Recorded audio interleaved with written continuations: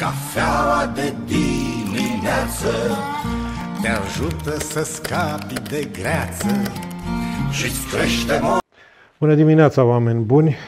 Cafeaua de dimineață, de data aceasta o bem în deplasare, așa cum v-am obișnuit în ultimul timp, dar înainte de a intra în subiectul emisiunii de astăzi, de mare interes pentru tot județul Neamț, aș vrea să fac câteva precizări. Vedeți că până acum știrile despre coronavirusul din China erau privite de noi așa de undeva, de departe și le comentam uh, precum chibiții.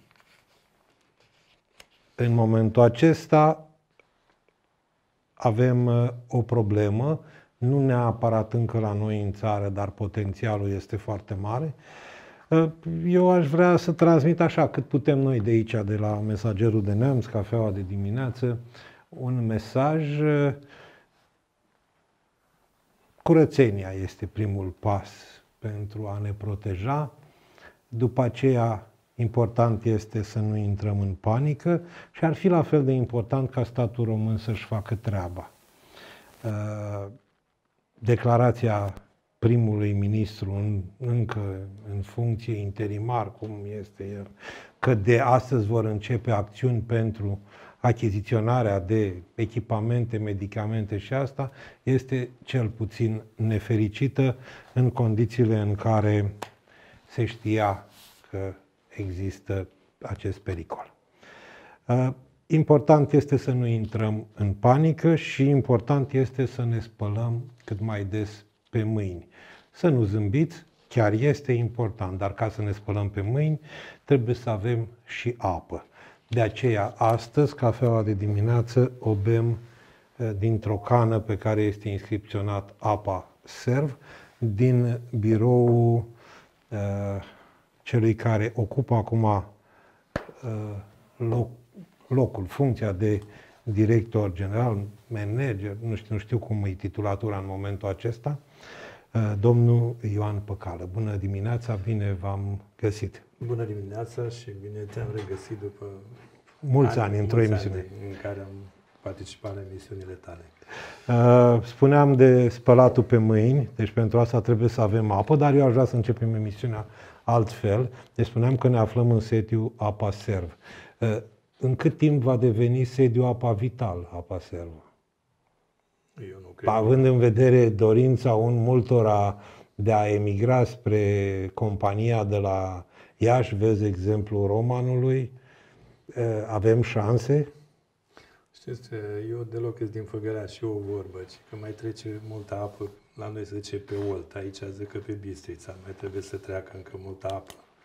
Ca să putem să clarificăm toate problemele, ca să nu uităm că acum e campania electorală, e Pre-campanie, hai să-i spunem, da.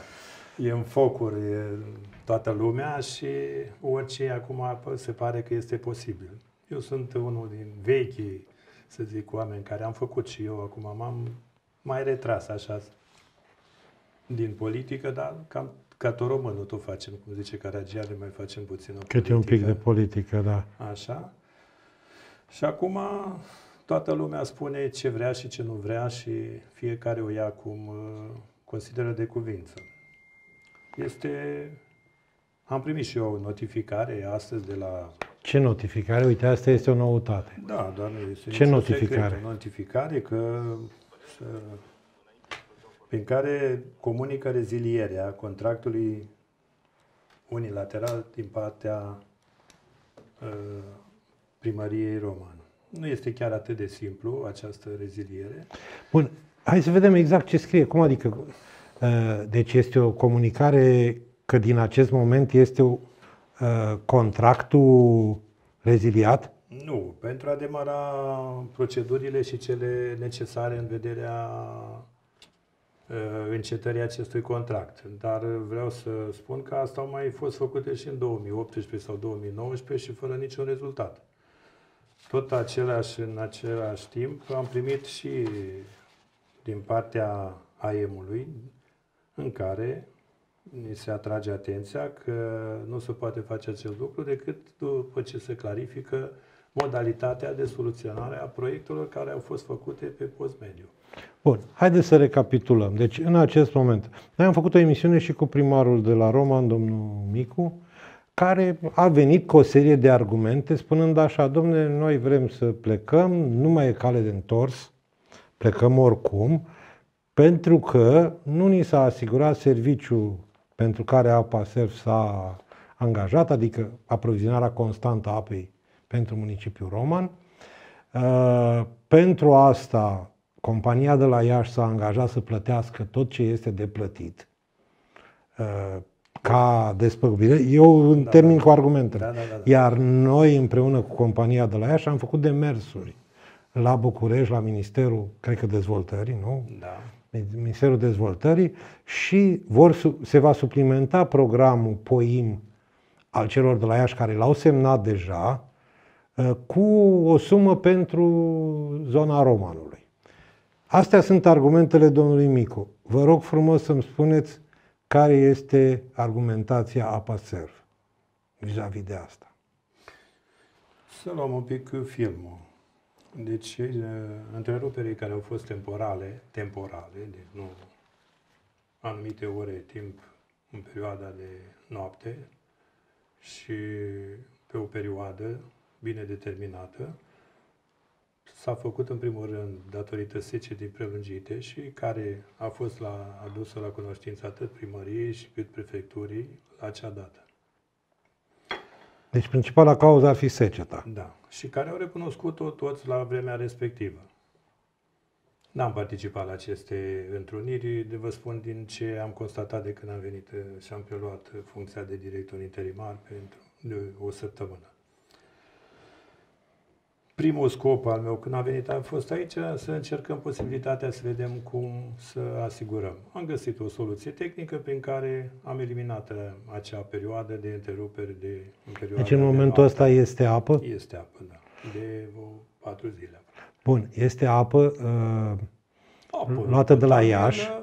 O, o cantitate minoră care trebuia de circa 80%, 2000 de metri cubi pe zi este față de producția care și producția cât este pe zi acolo? Mult, mult mai mare, nu am exact datele. Deci cam 10%, deci, 8-10% din ce ar furniza pe o zi întreagă.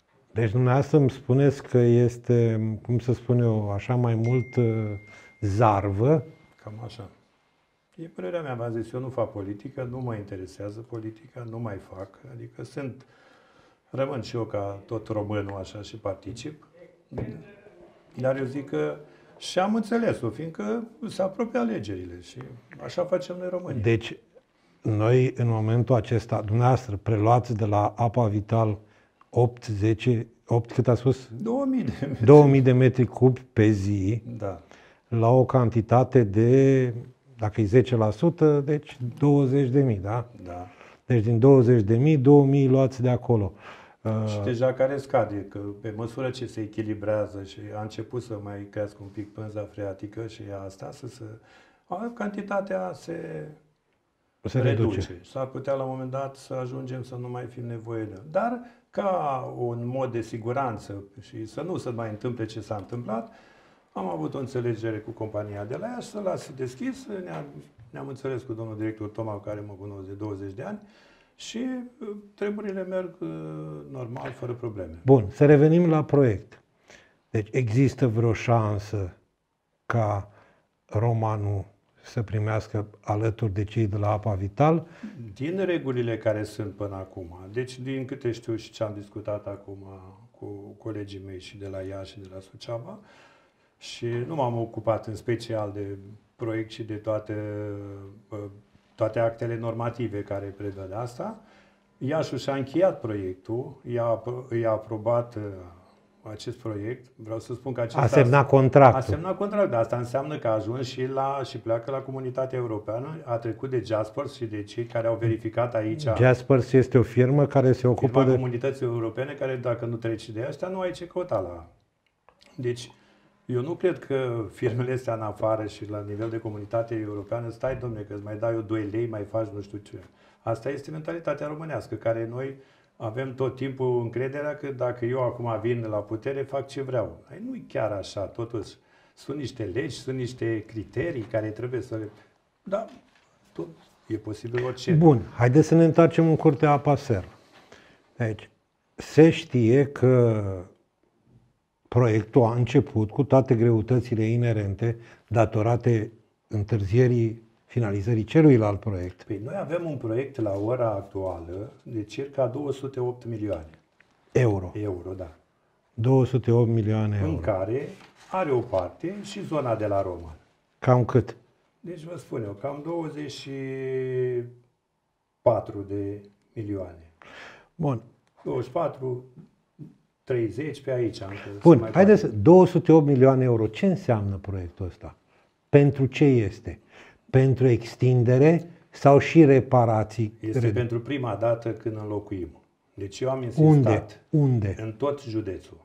Deci inclusiv se la înlocuiesc, Roma, se înlocuiesc conductele vechi. aducțiunile. Aducțiunile În vechi. primul rând, eu am, uh, așa, mi-a rămas în cap de la domnul Țibulcă, care l-ați ați avut, Dumnezeu să-l odihnească, și care mi-a spus, Ioane, dacă mai stai la apa servă acolo, principalul lucru al tău trebuie să fie înlocuirea conductelor de aducțiune. Deci aducțiunilor propriu zis. La nivel de întreg județ. Sunt făcute din 60.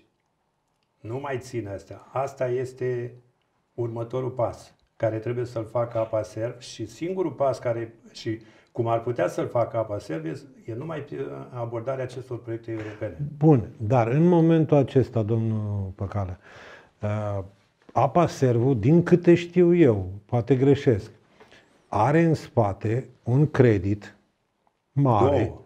Eu vorbesc de creditul mare pentru programul celălalt, mai este și celălalt vechi. Da, deci noi am luat 14 milioane de euro, cred. Pa- Are un credit de 14 milioane, mă rog, nu mai sunt 14 milioane. nu mai acum. sunt. Acum Da. o Deci parte un l-am credit achitat mare. pe ISPA. Poate, poate Apaservu să mai ia un credit, îi acordă cineva încă un credit, pentru că Da, aici ca să trebuie să ducă în mergi, spate, ca ca să- să mergi la 208 milioane, trebuie să vii cu o coparticipare de minim cât? Deci a, aici sunt niște, poate să fie coparticipare sau poate să nu fie coparticipare zero. Deci în funcție de, analiza anumite care- criterii, De da. anumite criterii. Uh, Dar poate să preia și o parte din cofinanțare, de data asta fiind acționarul majoritar, în Consiliul Județean. Cum s-a făcut și Peste, pe- aproape peste tot în peste țară. tot. La noi, primul care a fost că ISPA era blocat bugetul primăriei și pierdeam contractul atunci și am luat contractul pe noi, și că toată lumea ne tot întreb, au ridicat problema că apa este scumpă, că ea este o companie medie, nu este o companie mare.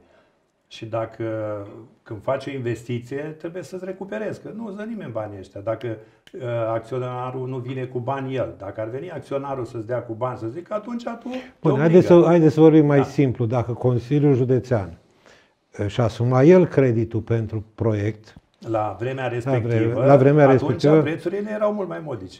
Da, deci, adică să fie lucrurile foarte clare. Da? Deci nu... Și dacă vine proiectul nou și va fi cu cofinanțare, Apa Servo ar trebui să... E cam greu. E greu să mai ia un e greu și credit. de ce? Că uh, și prețul ăsta nu poți să-l ridici la infinit. O să ridici la un moment dat să faci un preț foarte mare și Bun. nu se consumă. Și ce ai făcut? Tu, tu nu încasezi bani, nu ai producție, n-ai nimica. Bun. A existat, să nu-i spunem un scandal, a existat uh, în anumite medii o discuție apropo de consultantul cu care s-a început proiectul. Este vorba de firma Tahal. Tahal. Da. O firmă mare, dar care, din uh, cunoștințele noastre, Și și-a nefericire. cam, redus, Da. și-a cam redus personalul pe consultanță și lucra cu subcontractori. Uh, La un moment dat, firma n-a mai răspuns întrebărilor celor de la Jaspers, nu? E corect ce spun? Deci e ca prontitudine și ca termen și ca timp. și atunci contractul cu întârziat. ei a fost reziliat. Da.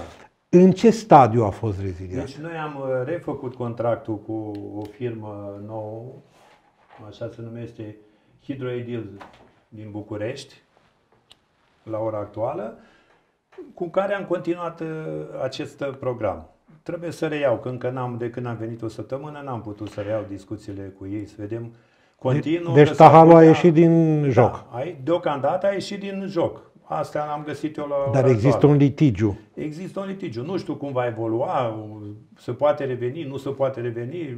Încă aici trebuie să intervină uh, juriștii pe problemele respective. Să vedem ce se întâmplă. Deci săptămâna asta, în atenția mea, este uh, modul de continuare acestui Cu hidroedilul.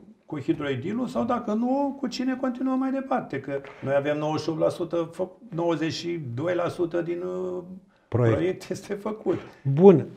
92, dar ăștia 8% știți Ăștia cum sunt e. foarte important Și că mai ne apăr... cer niște probleme încă. Când te duci la consultantul la București, care uh, a fost Jasper și încă o, acum o firmă românească care se ocupă în locul, că nu mai putea să preia toate companiile din țară, el îți spune niște condiții care trebuie să te încadrezi.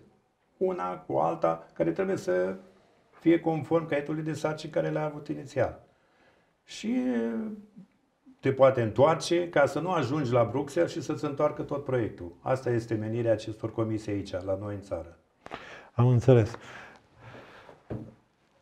Haideți să, să ajungem totuși uh, la, la un acord între noi. Uh, Cât timp ar trebui să mai dureze, după părerea dumneavoastră, până să se ajungă la semnarea contractului? Pentru că dacă, de exemplu, Roma nu o ține pe a lor și vor să retragă din proiect, toată documentația asta trebuie refăcută. Se pierde o zonă importantă și unul din cei mai importanți clienți ai Apaserv. Asta va avea repercursiuni inclusiv asupra valorii contractului. Da, va scădea valoarea contractului. Uh, și- Trebuie refăcut, trebuie regândit tot. Mai avem șanse să-l prindem în condițiile astea? Aici este hiba mare. Vom întârzia, deci uh, ne duce la o perioadă, ne va mai decala o perioadă. Și noi vrem să scurtăm, să Termenul intrăm cât mai limită, repede. termenul limită există? Deci încă ne putem încadra, deci zic eu, până la sfârșitul anului să clarificăm toate probleme din punct de vedere tehnic. Că ele sunt făcute. Acum trebuie ori să le scoți, ori să vezi ce faci, dar uh, nu pot să vă spun uh, care vor fi repercursiunile acestea. Poate să fie și ce spuneți dumneavoastră, să mă întârzie nu știu cât timp. Pentru întreg județul. Și revin din nou, dacă nu se vor schimba aceste aducțiuni la nivel de întreaga companie, când proiectul care îl avem nou acum este schimbarea aducțiunilor și la Roma. Să nu uităm că sunt două conducte sau care trec prin cimitir. Nu, eu zic că câteodată e bine da. să Da. treacă și prin cimitir. Bun, eu sunt de acord pe chestiunea asta cu conductele de aducțiune. Deci, schimb conduct... cu- Haideți să lămurim. Conducta de aducțiune este aceea, acea conductă principală Care aduce în rezervare. care aduce în rezervare apa. După care intră distribuția și care aparțiune toată municipalității, orașului, Ok. comunei și tot. Până aici sună bine. Teoretic sună foarte bine, probabil și Ne practic. limităm. Dar eu vă întreb, în paralel cu aducțiunea, n-ar trebui începută schimbarea rețelelor Da, avem și în programe. orașe? Avem și programe de uh, Pentru că acolo e pierderea mare. Deci ce ne de permite aceste proiecte noi să facem uh, o sectorizare a orașului, o echilibrare a rețelelor, încât să putem să izolăm pe tronsoane cât mai mici, să nu afectăm alimentarea populației. Toate astea trebuie făcute înainte și asta le-am prins pe acest proiect și care sunt de valori uh, mici. Deci, pe lângă conductele de aducțiune, vom avea și schimbări de conducte, rețele urbane. Deci de uh, montarea de cămine, de exemplu, la nivelul Roma. Noi am prevăzut uh, o 56 de sectorizări, deci sectorizarea întregului oraș, ca să putem după aceea să intervenim pe tronsoane micuțe de înlocuire a conductelor. Că altcumva trebuie să oprești tot orașul, să poți să faci o, o avarie. Deci așa este conceput la ora actuală aducționia și o parte din orașul din uh, uh, Roma.